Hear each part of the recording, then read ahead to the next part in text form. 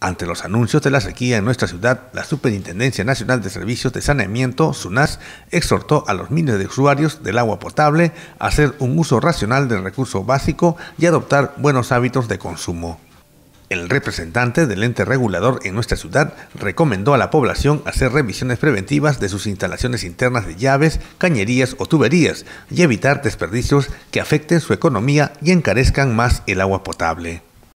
Bueno, adoptar y mejorar los hábitos de consumo de este recurso. Tenemos entendido de que ya se están efectuando recortes en, los horarios de abastecimiento y en la medida de lo posible SUNAS va a contribuir en la supervisión del cumplimiento de las obligaciones de la EPC TANA y garantizar que todo ciudadano tenga su dotación de agua. Precisó que durante el presente año continuarán con las campañas de ahorro en los colegios con el fin de proseguir promoviendo la cultura del ahorro del agua potable en los niños y jóvenes estudiantes. Bueno, durante el año vamos a hacer acciones de eh, concientización dirigido a estudiantes de los diversos niveles inicial, primaria y secundaria, porque entendemos de que la educación es básica para el manejo de este recurso que en tan es escaso.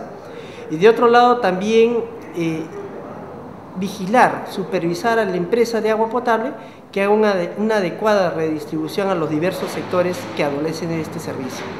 hizo un llamado a las autoridades regionales y locales para que, ante la problemática de la escasez hídrica, realicen una administración eficiente del agua.